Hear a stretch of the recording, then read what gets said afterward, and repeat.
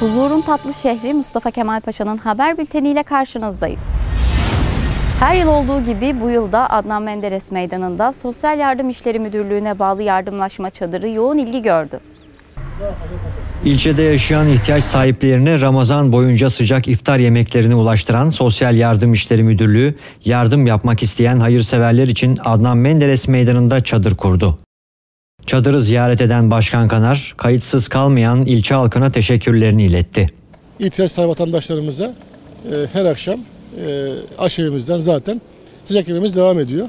Bu manevi iklime ortak olmak isteyen e, vatandaşlarımız varsa iftar çadırımızda meydanda bekliyoruz. Tüm ilçemizin, tüm İslam aleminin e, Ramazan-ı Şerif'i mübarek olsun.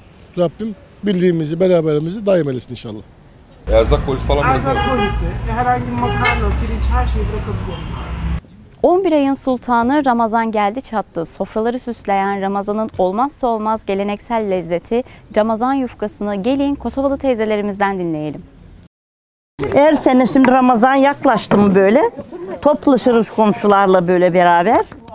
Böyle amur açarız yavrum. Mustafa Kemal Paşa'da Ramazan geleneği devam ediyor. Bunlar hepsi bizim meşhur geleneğimiz, göreneğimiz. Kosovalı kadınlar bu Ramazan öncesinde de imece usulüyle yöresel ürünlerini hazırladı. İleriden böyle şimdiki kız sobalar yoktu ileriden. Ateş yakardı kayatlarda böyle kağırlarda. Koruz biraz çökelek onların altına misir çökelek yani. Pişirirdik hepsiler içinde sac yaklar üstünde. Şimdiki her şeyler çok kızanım. Bir araya gelerek Ramazan hazırlığı yapan kadınlar olmazsa olmaz dedikleri gödeklerden de yemeği ihmal etmedi. Böyle gödek yaparız. En güzel şeyi de gödekçiliktir bunun. En güzel iş yemek.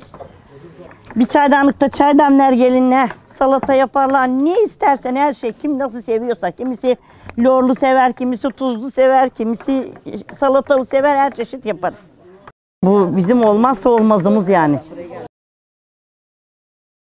21 Mart Down Sendromlular Günü'nde özel bireylere sürpriz yapmak için hazırlanan Başkan Sayın Mehmet Kanar sürpriz hazırlarken sürprizle karşılaştı.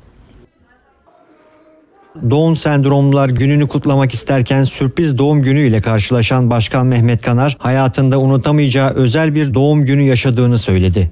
Doğum günü kutladılar. Hepsine teşekkür ediyorum. Hepsi sağ olsunlar, var olsunlar. Ailelerine teşekkür ediyorum. Geldiler buraya kadar bizi ziyaret ettiler.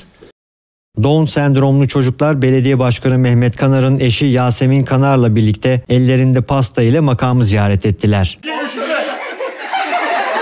Başkan Kanar ve özel çocukların arasındaki sohbet yürekleri ısıttı.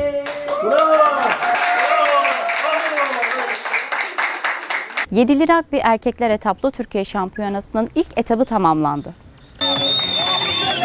Yedili Rugby Erkekler Etaplı Türkiye Şampiyonası birinci etap müsabakalarına ev sahipliği yapan Mustafa Kemal Paşa'da sporcular üst tura yükselmek için ter döktü. Rugby son bir yıldır oynuyorum. Okulda tanıştım. Okulumun takımıyla. Oradan sonra kulüp bünyesinde başladım.